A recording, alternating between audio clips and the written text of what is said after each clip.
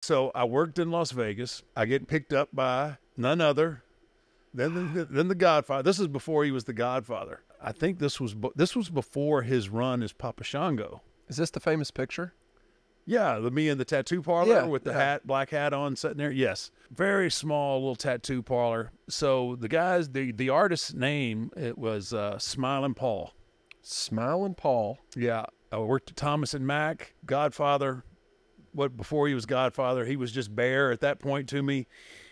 Picks me up. We go straight to the tattoo parlor and we start. And he grinded on my arm. He, I would say he was a little heavy-handed, Mm. and he would, you know, he would drag that needle across my arm, and then he'd wipe it. And it was, uh, it was a pretty intense eight hours that I set. Eight hours, Eight for that one tattoo. Mhm.